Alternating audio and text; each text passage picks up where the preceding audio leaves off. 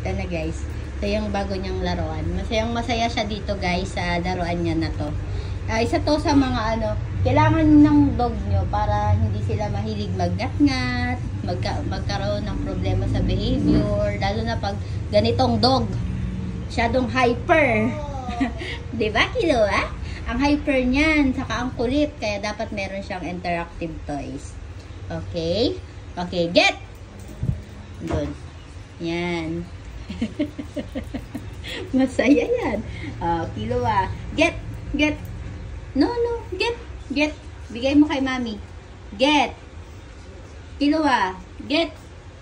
Get. No. Get. Get. Get the toys. Eh, ayaw mo. Hinig. Okay. Sit pretty. Sit pretty. Ito pa yung toys niya. Binabantayan. Okay. Get. Okay. Good boy. Good boy. Okay. Sit pretty. So, syempre, meron siyang reward. Yan. O, tingnan nyo. Tumitingin siya sa reward niya.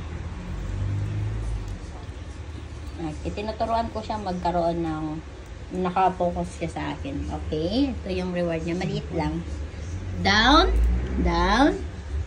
Stay. Stay. Stay.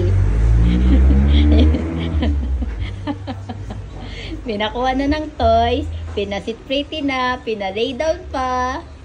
Okay. Okay. Okay. Very good.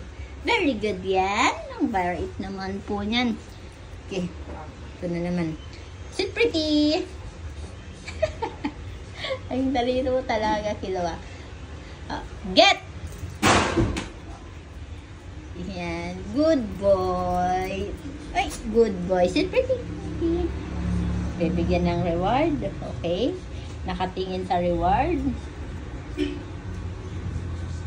Yan. Gusto ko siya matuto mag ano. Uh, lay down. Lay down. Lay down. Good boy. Stay. Stay. Stay. Huwag mong kukunin yan, ha? Good boy talaga yan na kiluan na yan. Ang good boy talaga niyan.